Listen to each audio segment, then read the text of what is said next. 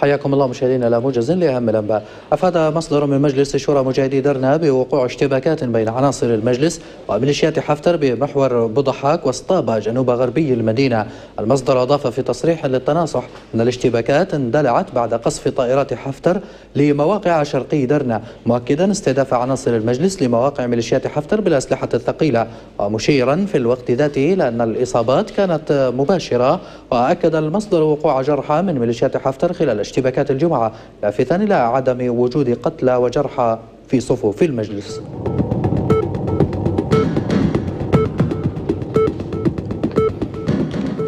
خرجت مظاهرة حاشدة في ميدان الشهداء في العاصمة طرابلس رافضة لمحاولة مجرم الحرب حفتر عسكرة الدولة ومطالبة بإسقاط المجلس الرئاسي المقترح. المتظاهرون رفعوا شعارات ندنوا فيها أفعال ميليشيات ما يعرف بعملية الكرامة في بنغازي من إخراج لجثث الموتى من قبورهم وتنكيل بهم. كما استهجن المتظاهرون الذين خرجوا عصر اليوم الجمعة تصرفات المبعوث الأممي لليبيا مارتن كوبلر وتغليبه لطرف دون آخر.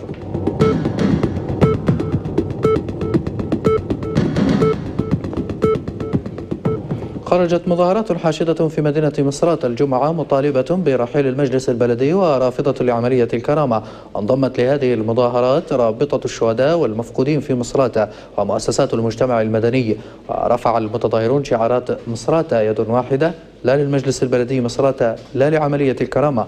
وعبر المتظاهرون عن استيائهم من المجلس البلدي الذي وصفوه بالخروج عن دوره المنوط به وتخاذله في خدمة أبناء المدينة وتدخله في شؤون الدولة التي ليست من اختصاصاته.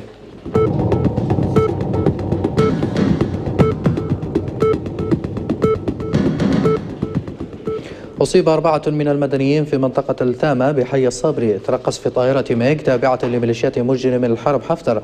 مصدر من المنطقة كذا سقوط منزل إثر القصف ما تسبب في إصابة أفراد العائلة لافتا إلى أن شظايا القصف طالت أكثر من منزل في المنطقة. تجدر الإشارة إلى أن حي الصابري يقطن به عدد من العائلات التي كانت قد نجحت في الخروج من منطقة جنفودة بسبب الحصار الخانق على المنطقة قبل ميليشيات الكرامة.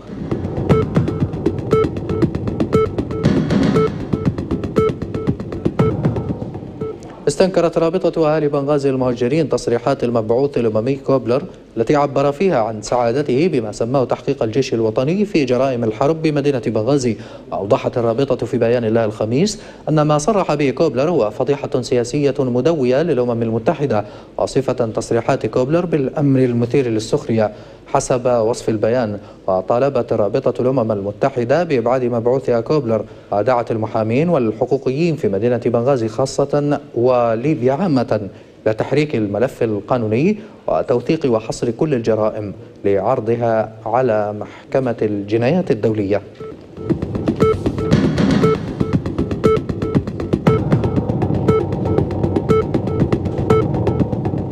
في ختام الموجز دمتم في أمان الله.